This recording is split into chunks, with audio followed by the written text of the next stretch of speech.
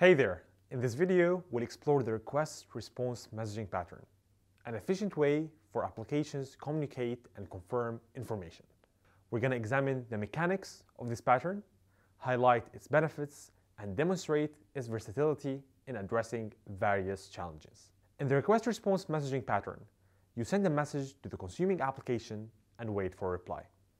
This type of messaging is typically built on point-to-point -point messaging, allowing you to create a temporary queue to receive the all-important confirmation.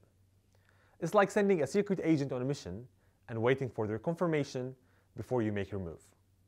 You might be wondering, why can't you just use an API like REST to accomplish this? While REST can provide similar functionality, it really requires all applications to be online and responsive at all times for it to work. Request response, on the other hand, allows you to achieve the same outcome while keeping your applications independent of each other. Request response messaging utilizes the message expiry from its properties, which is handy when dealing with time-sensitive information.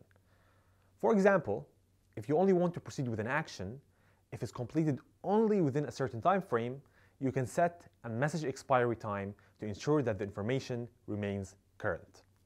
Another advantage of this pattern is its ability to handle various workloads gracefully.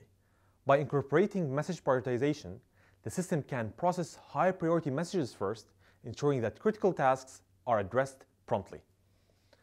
This adaptability is particularly beneficial in scenarios where resources are constrained to when an application must manage a wide range of tasks with different levels of urgency.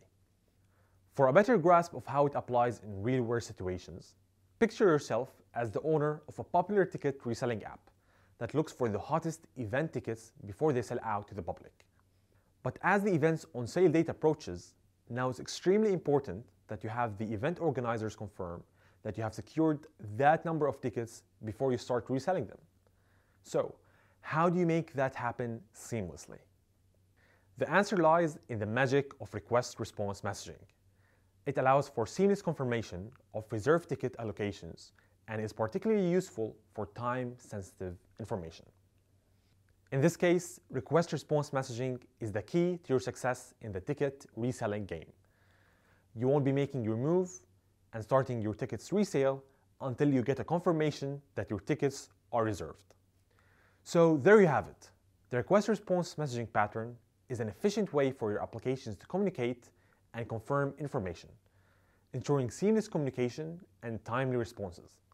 By understanding and implementing this pattern, you can leverage its benefits to create effective communication solutions for your applications.